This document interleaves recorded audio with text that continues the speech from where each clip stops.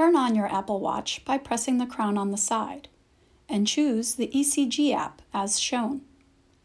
Once you see the red heart, gently press your finger up against the crown to start recording your ECG. Try to keep both hands still during the 30 second recording. It helps to rest your arm on a table or your lap. You can watch the ECG as it records, and you will notice that it will restart the recording on its own if there is too much movement to interpret your ECG properly, as either normal sinus rhythm or atrial fibrillation.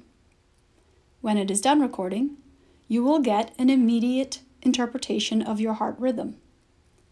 If you scroll down, you can choose Add Symptom if you want to label that ECG with whatever you were feeling at the time. Choose one of the options provided, or choose Other and save. Finally, press Done to permanently record the ECG onto your iPhone where you can access them anytime.